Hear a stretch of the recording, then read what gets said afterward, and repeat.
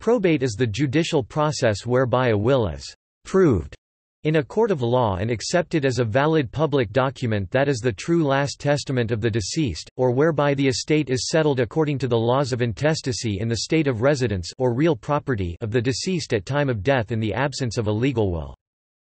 The granting of probate is the first step in the legal process of administering the estate of a deceased person, resolving all claims and distributing the deceased person's property under a will.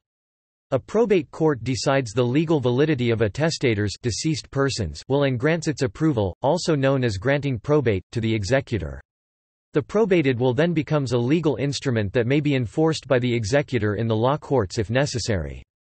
A probate also officially appoints the executor or personal representative, generally named in the will, as having legal power to dispose of the testator's assets in the manner specified in the testator's will. However, through the probate process, a will may be contested. Topic: Terminology Topic: Executor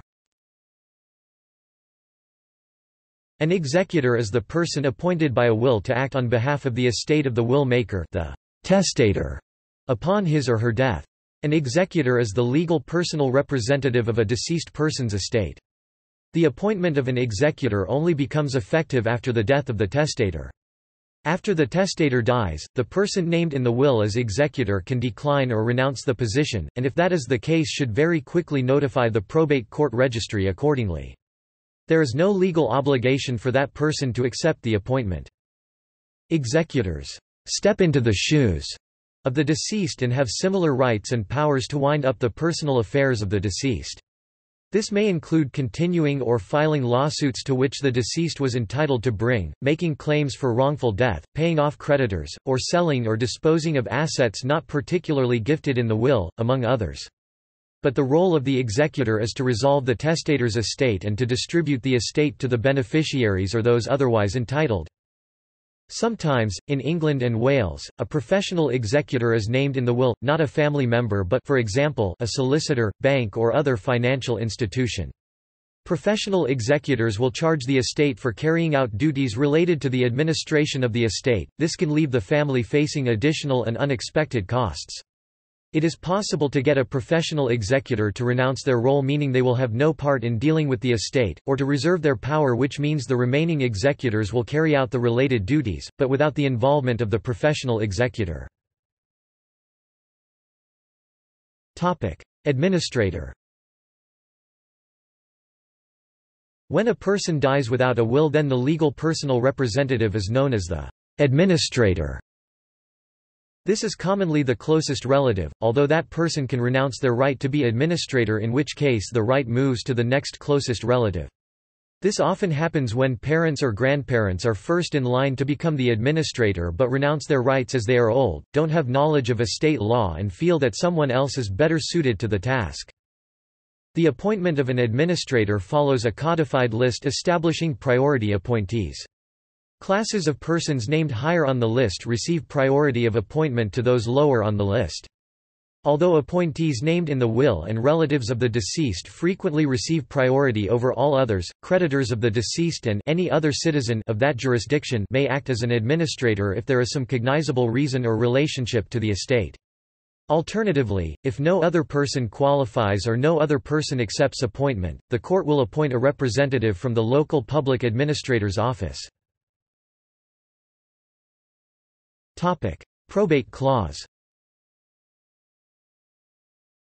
A representative example of a complete probate clause, from the 14th century or earlier onwards, added at the bottom of the office transcribed copy of a will is as follows, taken from the Will of Anthony Bathurst, 1697, Prob 11 438 Probatum fuit huiusmodi testamentum apud Londinium coram venerabili et egregio viro domino Ricardo Reins, Milite, legum Doctor Curiae praerogativi cantariensis magistro custodes sive commissari legitime constituti vicimo tertio di mensis Juni anno domini millesimo sexcenti nonaginta septimo juramento Mariae Bathurst relictae et executricis in dicto testamento nominata qui commissa fuit administratio omnium et singulorum bonorum, jurium et creditorum dictae defuncti de bene et fideliter administrando idem ad sancta Dei Evangelis jurat. Examinator. Translated literally as this will was proved at London before the Worshipful Sir Richard Raines, Knight, Doctor of Laws, Master Keeper or Commissary of the Prerogative Court of Canterbury, lawfully constituted, on the 23rd day of the month of June in the year of our Lord 1697, by the oath of Mary Bathurst, relict and executrix named in the said will, to whom administration was granted of all and singular the goods, rights and credits of the said deceased, sworn on the holy gospel of God to well and faithfully administer the same. It has been examined. Etymology. The English noun, probate, derives directly from the Latin verb probare, to try, test, prove, examine, more specifically from the verbs past participle nominative neuter probatum, having been proved, Historically during many centuries a paragraph in Latin of standard format was written by scribes of the particular probate court below the transcription of the will, commencing with the words for example, probatum Londini fuit huismodi testamentum coram venerabili viro name of approver legum doctor curiae prerogativi cantariensis. A testament of such a kind was proved at London in the presence of the venerable man, Doctor of Law at the Prerogative Court of Canterbury. The earliest usage of the English word was in 1463, defined as the official proving of a will. The term probative, used in the law of evidence, comes from the same Latin root but has a different English usage. Topic: Probate process Probate is a process of improvement that proves a will of a deceased person is valid, so their property can in due course be retitled US terminology or transferred to beneficiaries of the will. As with any legal proceeding, there are technical aspects to probate administration. Creditors must be notified and legal notices published. Executors of the will must be guided in how and when to distribute assets and how to take creditors' rights into account. A petition to appoint a personal representative may need to be filed and letters of administration often referred to as letters testamentary issued. A grant of letters of administration can be used as proof that the administrator is entitled to handle the assets. Homestead property, which follows its own set of unique rules in states like Florida, must be dealt with separately from other assets. In many common law jurisdictions such as Canada, parts of the US, the UK, Australia and India, jointly owned property passes automatically to the surviving joint owner separately from any will, unless the equitable title is held as tenants in common. There are time factors involved in filing and objecting to claims against the estate. There may be a lawsuit pending over the decedent's death or there may have been pending suits that are now continuing. There may be separate procedures required in contentious probate cases. Real estate or other property may need to be sold to effect correct distribution of assets pursuant to the will or merely to pay debts. Estate taxes, gift taxes or inheritance taxes must be considered if the estate exceeds certain thresholds. Costs of the administration including ordinary taxation such as income tax on interest and property taxation is deducted from assets in the estate before distribution by the executors of the will. Other assets may simply need to be transferred from the deceased to his or her beneficiaries, such as life insurance. Other assets may have pay on death or transfer on death designations, which avoids probate. The rights of beneficiaries must be respected, in terms of providing proper and adequate notice, making timely distribution of estate assets, and otherwise administering the estate properly and efficiently. Local laws governing the probate process often depend on the value and complexity of the estate. If the value of the estate is relatively small, the probate process may be avoided. In some jurisdictions and or at a certain threshold, probate must be applied for by the executor, administrator or a probate lawyer filing on their behalf. A probate lawyer offers services in probate court, and may be retained to open an estate or offer service during the course of probate proceedings on behalf of the administrator or executor of the estate. Probate lawyers may also represent heirs, creditors and other parties who have a legal interest in the outcome of the estate. In common law jurisdictions, probate official proving of a will is obtained by executors of a will while letters of administration are granted where there are no executors. Australia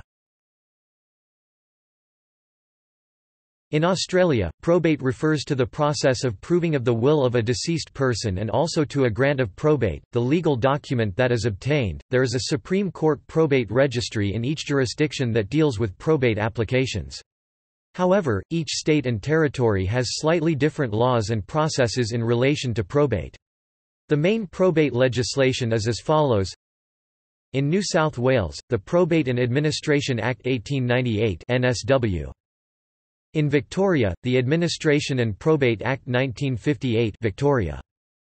In Queensland, the Uniform Civil Procedure Rules 1999. In Western Australia, the Non-Contentious Probate Rules 1967 WA.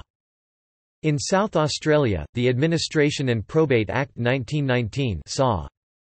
In Tasmania, the Administration and Probate Act 1935 TAS.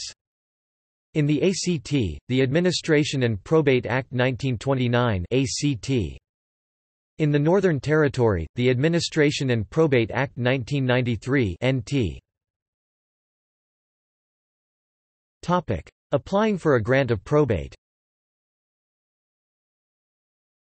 Only the executors of a will can apply for a grant of probate. It is the duty of the executors of the will to obtain probate in a timely manner. The executors can apply for probate themselves which is often done to reduce legal fees or be represented by a lawyer. To obtain a grant of probate, there must have been a valid will and assets left by the deceased person.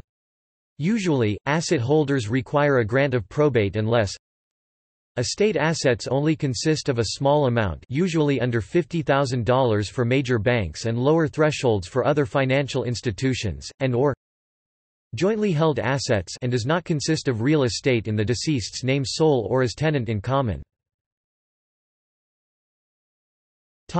Distributing the estate After probate is granted, the executors is also responsible for distributing the assets in accordance with the will. Some Australian jurisdictions require a notice of intended distribution to be published before the estate is distributed.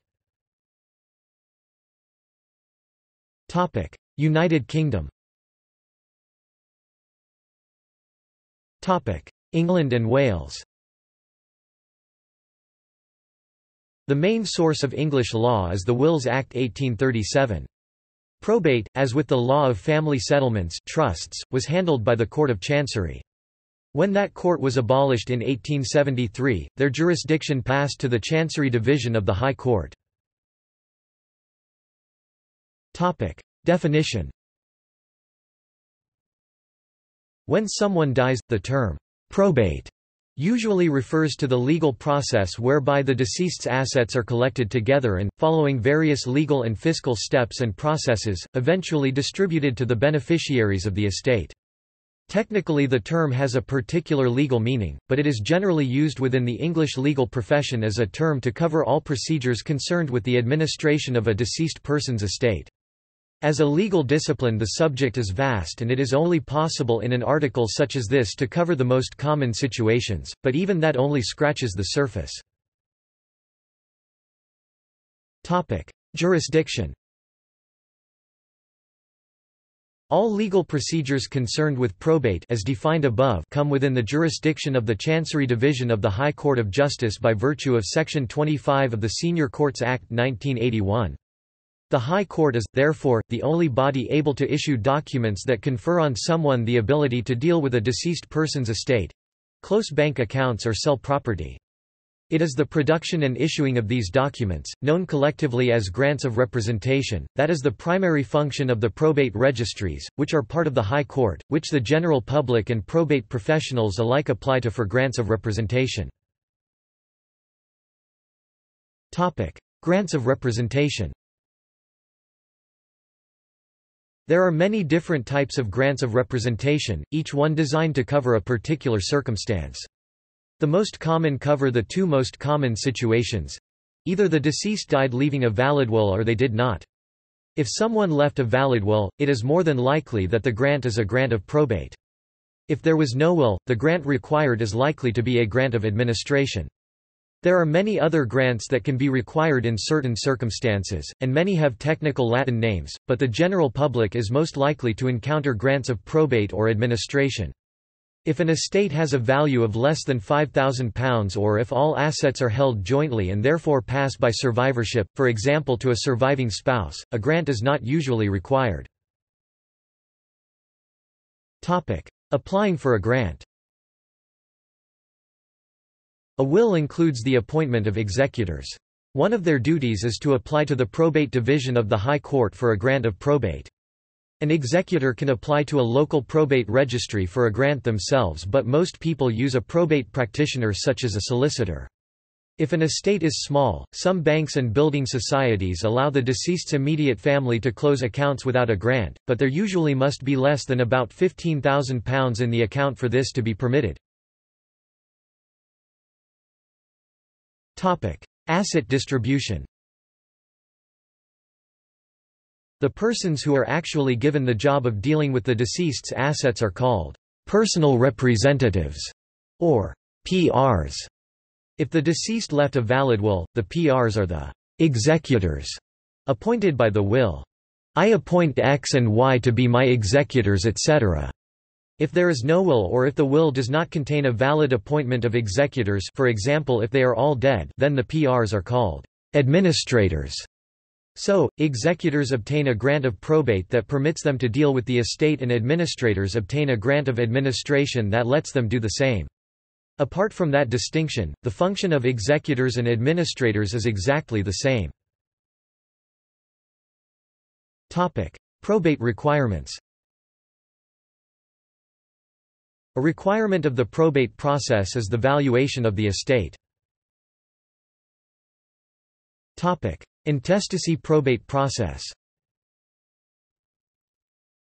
For an explanation of the intestacy probate process in England and Wales, see Administration of an estate on death.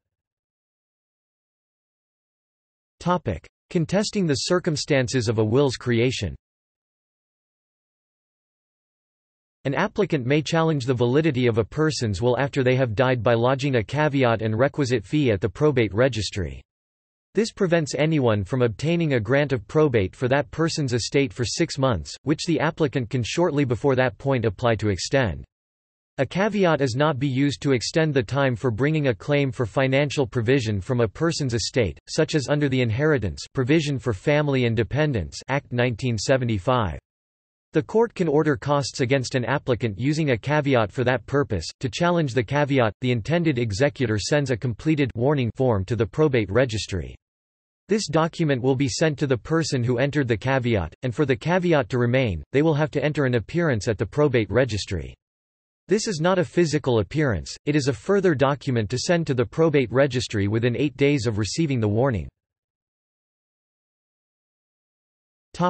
Scotland The equivalent to probate in Scotland is confirmation, although there are considerable differences between the two systems because of the separate Scottish legal system. Appointment as an executor does not in itself give confer authority to ingather and distribute the estate of the deceased, the executors must make an application to the sheriff court for a grant of confirmation. This is a court order authorising them to uplift, receive, administer and dispose of the estate and to act in the office of executor.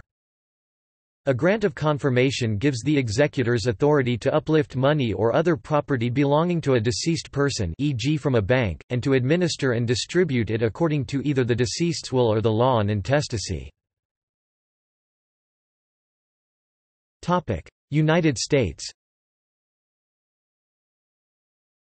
Most estates in the United States include property that is subject to probate proceedings.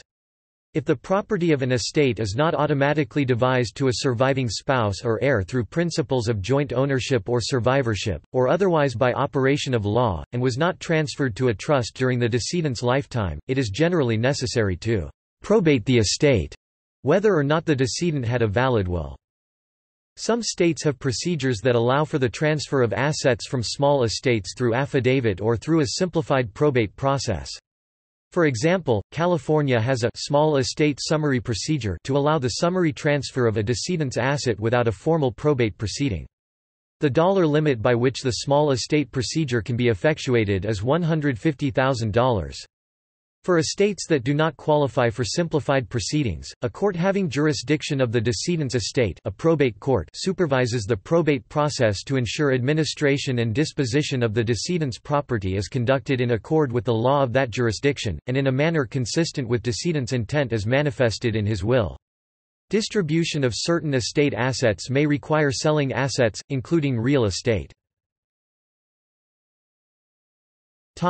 Avoiding probate Some of the decedent's property may never enter probate because it passes to another person contractually, such as the death proceeds of an insurance policy insuring the decedent or bank or retirement account that names a beneficiary or is owned as payable on death, and property sometimes a bank or brokerage account legally held as jointly owned with right of survivorship. Property held in a revocable or irrevocable trust created during the grantor's lifetime also avoids probate. In these cases in the U.S. no court action is involved and the property is distributed privately, subject to estate taxes. The best way to determine which assets are probate assets requiring administration is to determine whether each asset passes outside of probate. In jurisdictions in the U.S. that recognize a married couple's property as tenancy by the entireties, if a spouse or partner in Hawaii dies intestate owning property without a will, the portion of his, her estate so titled passes to a surviving spouse without a probate. Steps of probate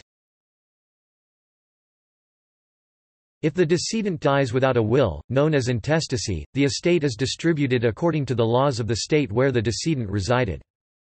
If the decedent died with a will, the will usually names an executor personal representative, who carries out the instructions laid out in the will. The executor marshals the decedent's assets. If there is no will, or if the will does not name an executor, the probate court can appoint one. Traditionally, the representative of an intestate estate is called an administrator. If the decedent died with a will, but only a copy of the will can be located, many states allow the copy to be probated, subject to the rebuttable presumption that the testator destroyed the will before death. In some cases, where the person named as executor cannot administer the probate, or wishes to have someone else do so, another person is named administrator. An executor or an administrator may receive compensation for his service. Additionally, beneficiaries of an estate may be able to remove the appointed executor if he or she is not capable of properly fulfilling his or her duties.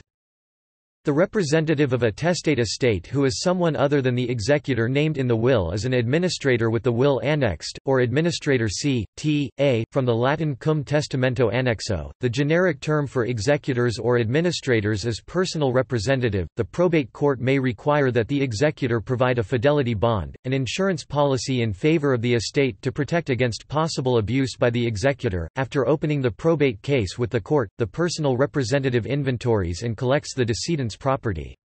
Next, he pays any debts and taxes, including estate tax in the United States, if the estate is taxable at the federal or state level. Finally, he distributes the remaining property to the beneficiaries, either as instructed in the will, or under the intestacy laws of the state. A party may challenge any aspect of the probate administration, such as a direct challenge to the validity of the will, known as a will contest, a challenge to the status of the person serving as personal representative, a challenge as to the identity of the heirs, and a challenge to whether the personal representative is properly administering the estate. Issues of paternity can be disputed among the potential heirs in intestate estates, especially with the advent of inexpensive DNA profiling techniques. In some situations, however, even biological heirs can be denied their inheritance rights, while non-biological heirs can be granted inheritance rights. The personal representative must understand and abide by the fiduciary duties, such as a duty to keep money in interest-bearing account and to treat all beneficiaries equally. Not complying with the fiduciary duties may allow interested persons to petition for the removal of the personal representative and hold the personal representative liable for any harm to the estate.